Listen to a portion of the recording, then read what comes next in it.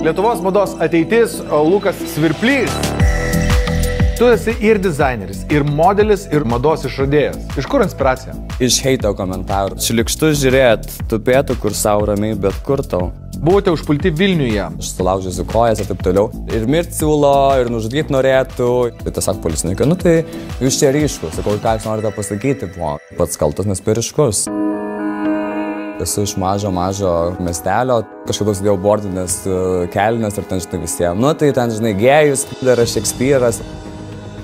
Ar kokiam restorane, žinai, ten šeima atsistoja, prašo administratoriaus, kad, žinai, mus ten išvarytų iš restiko, nes ten, tipo, žinai, čia šeima sėdė, o čia mes šalia šeimos, parduotuvė tau tes neaptarnauja.